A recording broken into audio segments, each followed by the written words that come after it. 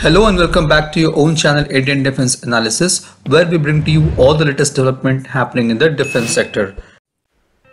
The Indian Air Force pilots undergoes three stages of training. The first stage is performed on a fleet of 75 Swiss Pilatus PC-7 Mk2 turboprop trainers. It is planned to be replaced with indigenous basic trainer HAL HTT-40. The second stage is intermediate jet training, which is conducted on HAL Kiran Mark 1 and Mark 2s. It is an Indian two-seat intermediate jet power trainer aircraft designed and manufactured by HAL. The third stage is an advanced jet trainer which is conducted on BAE Systems Hawk Mk132 advanced jet trainers. The HAL Kiran jets have been training for almost 50 years Indian Air Force is currently operating 87 and Navy 20 Kiran jets. However, the aging fleet of Kiran gave birth to indigenous intermediate jet trainer called Hindustan Jet Trainer HJT-36 Sitara. In addition to clearing the HJT-36 as an airborne trainer, HAL will also have to offer a complete simulation-based training solution for the IJT to match the Indian Air Force infrastructure already set up for its PC-7 Mark II and Hawk fleets. Talking about HJT-36, it is going to be a subsonic intermediate trainer jet designed and developed by HAL's Aircraft Research and Development Center. It is a conventional jet trainer with low swept wings and small air intakes for the engine on either side of its fuselage.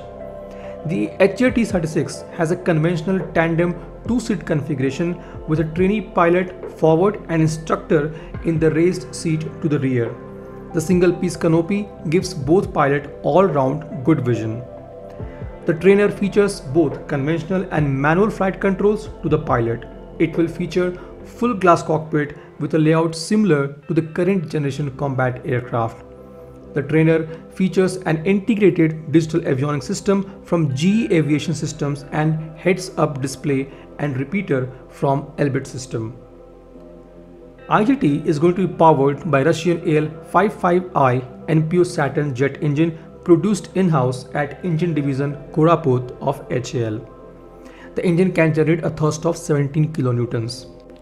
It helps the trainer to achieve the maximum speed of Mach 0.75 and G limit of plus 7 to minus 2.5. HJT-36 has a thrust to weight ratio of greater than 5. Beside training, this aircraft can also be used for light strike or armed reconnaissance role. It has impressive 5 external hardpoints for weapons training. There is one centerline hardpoints under fuselage and two weapon pylons under each wing for carrying rockets, gun pods and bombs. The maximum external payload is 1000 kg.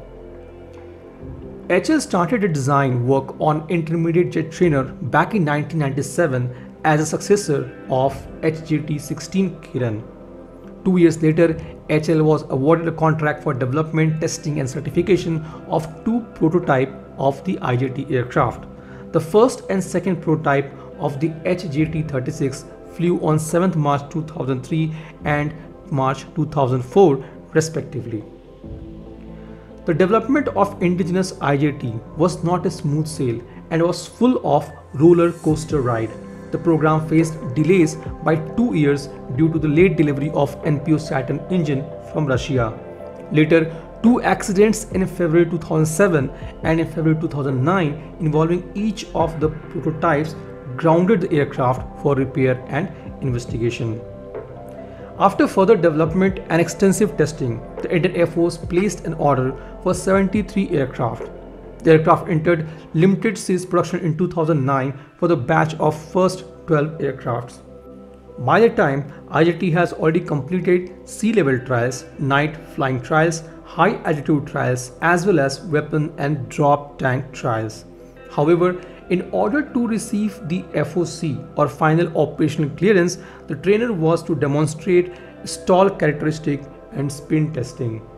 In 2016, IJT program almost stalled over prototypes unsatisfactory spin testing characteristic when aircraft departed from controlled flight.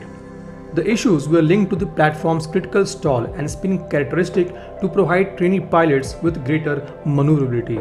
The IJT Sitara was to remain unfit for service as an intermediate jet trainer until these issues were to be resolved. HAL had to resort to major modification in the aircraft like shifting the vertical tail aft on the airframe and increasing the rudder area to correct its spin characteristic. In April 2019, Sitara flew for the first time in three years with a modified airframe.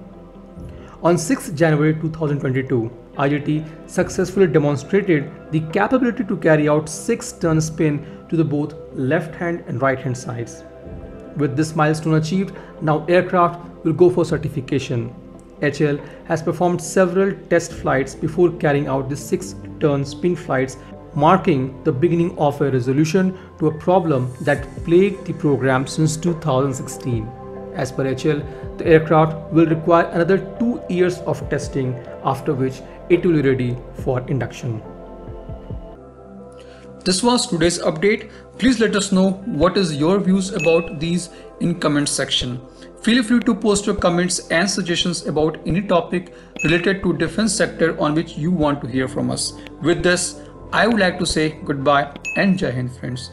Please like and subscribe our video if you have not done already. We'll be soon back with more interesting and amazing development happening in defense sector.